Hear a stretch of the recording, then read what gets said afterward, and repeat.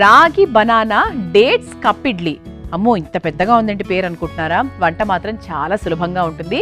And పిల్లలకు చాలా చాలా బాగా నచ్చుతుంది.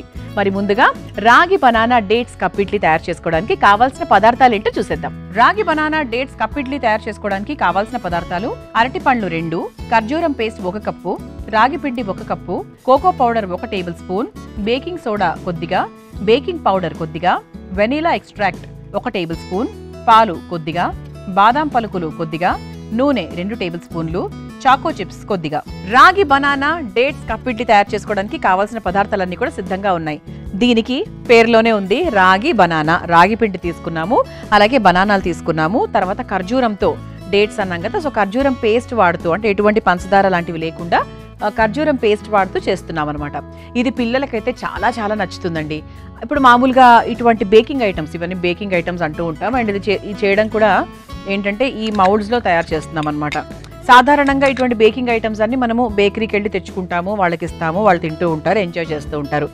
కానీ అవి ఇంట్లోనే సులభంగా మన ఇంట్లో ఉండే వస్తువులతోనే చేసుకుంటే ఇంకా చాలా బాగుంటుంది కదా. ముఖ్యంగా రాగిలో అధికంగా కాల్షియం ఉంటుంది. అలాగే మెగ్నీషియము మ్యాంగనీస్ కాపరు పొటాషియము ఇవన్నీ చాలా అధికంగా ఉంటాయి. అంతేకాకుండా జీర్ణాశయానికి కూడా చాలా బాగా పనిచేస్తూ ఉంటుంది. మన చర్మానికి కూడా చాలా బాగా పనిచేస్తుంది. అండ్ ముఖ్యంగా అరటిపండు అయితే ఇంకా పిల్లలకు అయినా అంటే పెద్దవాళ్ళకి ఎవరికైనా కూడా మంచి ఎనర్జీని ఇచ్చేది మంచి రుచినిచ్చేది మంచి విటమిన్స్ ఇచ్చేది అరటిపండు. అరటిపండులో కూడా చక్కటి పోషక విలువలు ఉంటాయి. అలాగే మన రాగి పిండిలో కూడా. రాగి పిండి అనేది బరువు తగ్గడానికి ఉపయోగపడుతుంది కొలెస్ట్రాల్ తగ్గిస్తుంది తర్వాత గుండె ఆరోగ్యానికి కూడా చాలా మంచిది. అలాగే మధుమేహంతో ఇబ్బంది పడుతున్న వారికి చాలా బాగా పనిచేస్తూ ఉంటుందన్నమాట. మరి ఇంకెందుకు? మొదలు పెట్టేద్దామా? అయితే ఇక్కడ మనకు రాగి పిండి అలాగే బనానా మెయిన్ ఇంగ్రీడియంట్స్ కాబట్టి వాటి మీద ఫోకస్ చేద్దాం మనము. ముందుగా ఒక మిక్సింగ్ బౌల్ తీసుకొని ఫస్ట్ బనానా తీసుకుందాము. ఒక టూ బనానాస్ తీసుకున్నానండి. ఇలా చక్కగా బనానా తీసుకున్నాం కదా ఇలా చిన్న ముక్కలుగా కట్ చేసుకుందాం ఫస్ట్. కట్ చేసుకొని మ్యాష్ చేసేసుకుందాం. మనకు ఫోర్క్తోనే ఈజీగా అంటే వన్స్ ఒక్కసారి మ్యాష్ అయిపోయిందంటే ఇంక ఇట్స్ ఈజీ అనమాట మిక్స్ చేయడానికి మనకి.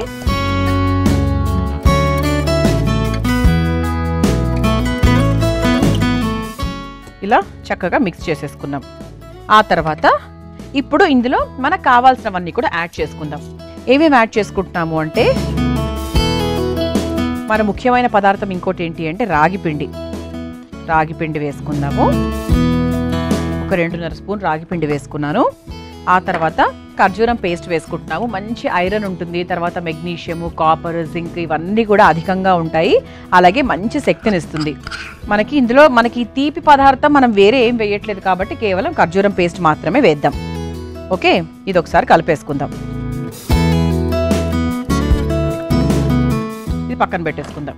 ఇప్పుడు మనం ఏం చేద్దామంటే ఇందులో కాస్త కోకో పౌడర్ వేసుకుందాం. అంటే పిల్లలకు కూడా చాలా బాగుంటుంది కదా రుచికరంగా ఉంటుంది. ఆ తర్వాత కాస్త వంట సోడా. దీనికి మాత్రమే మనం కొంచెం మనం సోడా ఉపయోగిస్తున్నాము. సాధారణంగా అమృతంలో ఇవన్నీ తక్కువగా ఉపయోగిస్తాం. కానీ దీనికి మాత్రం ఖచ్చితంగా కావాలి కాబట్టి వేస్తున్నాం. ఆ తర్వాత కాస్త బేకింగ్ పౌడర్ కూడా ఆ తర్వాత కొంచెం ఎసెన్స్ కూడా వేసుకుందాం. అంటే మనకు కావాల్సిన ఎసెన్స్ వేసుకోవచ్చండి. నేను వెనీలా ఎసెన్స్ వేసాను వేసుకొని ఒకసారి కలిపేసుకుందాం. అయితే ఇందులో మనం ఎటువంటి నీళ్ళు వాడట్లేదు. సో ప్రస్తుతానికి మాత్రము అరటిపండు గుజ్జులో ఉన్నటువంటి నీరే సరిపోయింది. కాకపోతే ఇందులో మనం ఇంకొంచెం పాలు పోసుకుందాం. అంటే మనకి ఎలా ఉండాలంటే కొంచెం ఇలా బ్యాటర్ లాగా రావాలి ఇలా పిండి లాగా రావాలన్నమాట. మనం మౌళ్ళలో వేసుకునేటప్పుడు. సో ఇందులో కాస్త పాలు పోసుకుందాం. చూసుకోవాలండి మరి ఎక్కువగా వేసేస్తే కూడా మనకి సరిగ్గా రాదు కాబట్టి. ఇలా చక్కగా ఒకసారి కలిపేసుకుందాం. ఇంకొంచెం పాలు పోసుకోవాలి. ఎందుకంటే మనకి ఇంకా బ్యాటర్ లాగా ఇలా పిండిలాగా రాలేదు కాబట్టి కొద్దిగా పోసుకుందాం.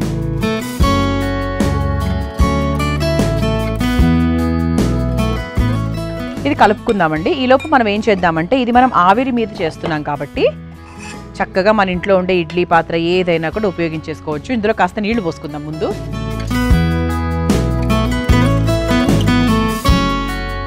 కొంచెం నీళ్ళు పోసేసుకున్నాము. తర్వాత స్టవ్ వెలిగించేసుకుందాం.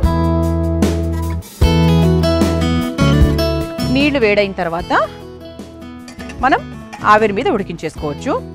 అయితే ఈ ప్లేట్కి మనము ఏం నూనె రాయనక్కర్లేదండి. ఎందుకంటే దీని మీద మనం డైరెక్ట్గా ఏమీ పెట్టట్లేదు కాబట్టి మనం ఇలా చక్కగా మౌల్డ్స్ ఉపయోగిస్తున్నాం. ఇది మామూలుగా ఇడ్లీలాగా కూడా చేసుకోవచ్చు.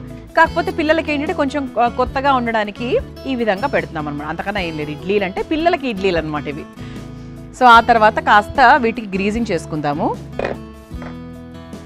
కొంచెం మనకి ఇలా నూనె రాసేసుకుంటే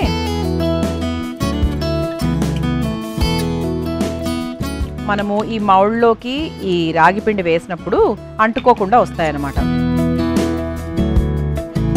చూసారా? ఇలా చక్కగా మనకు మంచి డిఫరెంట్ వంట. ఈరోజు అమృతంలో కేవలము ఆరోగ్యకరం వంట అన్ని పెద్దవాళ్ళ వంటలే అన్న ఒక కాన్సెప్ట్ చాలామందికి ఉంటుంది. ఏం లేదండి చక్కగా ఇలాంటి వంటలు కూడా పరిచయం చేస్తూ ఉంటాం మేము.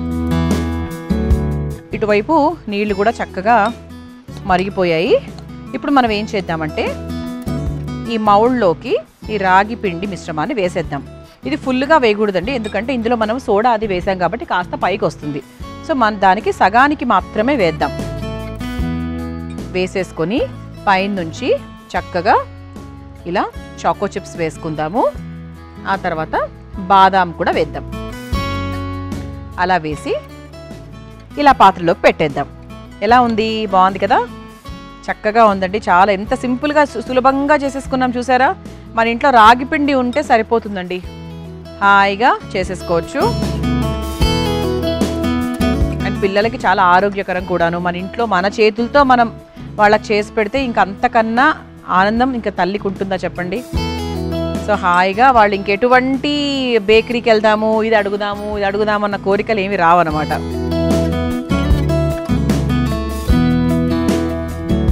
అండ్ ఇందులో మనం పంచదార అట్లాంటివి ఏమీ వేయలేదు. కేవలం ఖర్జూరం పేస్ట్ మాత్రమే ఉపయోగించాం. ఇలా చక్కగా అన్నీ పెట్టేసుకున్నాము. ఇప్పుడు మూత పెట్టేద్దాం. మూత పెట్టేసి ఉడికిచ్చేసుకుందాం. నేను స్టవ్ ఆఫ్ చేసేసానండి.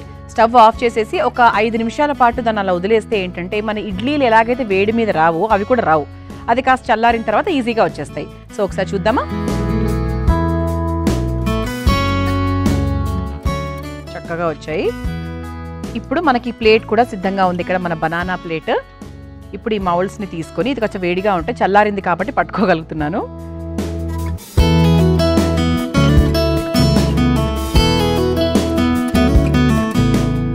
ఇలా తయారైనటువంటి మా రాగి బనానా డేట్స్ కప్ ఇడ్లీస్ని ఒక ప్లేట్లోకి తీసుకుందాం.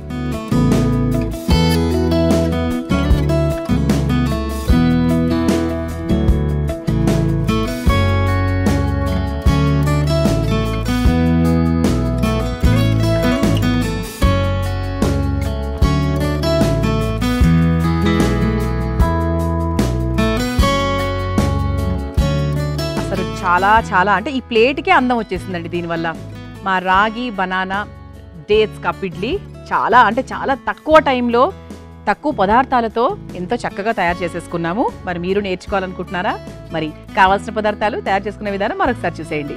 రాగి బనానా డేట్స్ కప్పిడ్లీ తయారు చేసుకోవడానికి కావాల్సిన పదార్థాలు అరటి పండ్లు రెండు ఖర్జూరం పేస్ట్ ఒక కప్పు రాగి పిండి ఒక కప్పు కోకో పౌడర్ ఒక టేబుల్ స్పూన్ బేకింగ్ సోడా కొద్దిగా బేకింగ్ పౌడర్ కొద్దిగా వెనీలా ఎక్స్ట్రాక్ట్ ఒక టేబుల్ స్పూన్ పాలు కొద్దిగా బాదాం పలుకులు కొద్దిగా నూనె రెండు టేబుల్ స్పూన్లు చాకో చిప్స్ కొద్దిగా. రాగి బనానా డేట్స్ కప్పిడ్లీ తయారు చేసుకునే విధానం. ముందుగా మిక్సింగ్ బౌల్లో అరటి పండ్లను వేసి బాగా మెత్తగా మెదుపుకోవాలి. ఇప్పుడు అందులో రాగి పిండి కొంచెం ఖర్జూరం పేస్ట్ వేసి కలుపుకోవాలి. తర్వాత అందులో cocoa powder baking powder baking soda కాస్త వెనీలా ఎసెన్స్ వేసి కొంచెం పాలు కూడా పోసుకొని బ్యాటర్ లాగా కలుపుకోవాలి. తర్వాత స్టవ్ వెలిగించి బాండీలో కాస్త నీళ్ళు పోసి వేడి చేసుకోవాలి. తర్వాత మౌల్డింగ్ కప్స్ని తీసుకొని వాటి కాస్త నూనె రాసి ముందుగా కలుపుకొని పెట్టుకున్న అరటిపండు మిశ్రమాన్ని ఆ కప్పులో వేసి వాటి పైన నుంచి చాకో చిప్స్ తరిగిన బాదం వేసుకొని ఈ మౌల్డింగ్ కప్స్ని ఆవిరి పాత్రలో పెట్టి మూత పెట్టి పది నిమిషాల పాటు ఆవిరి మీద ఉడికించి ఒక సర్వింగ్ ప్లేట్లోకి తీసుకొని సర్వ్ చేసుకుంటే రాగి banana dates cup idli ready.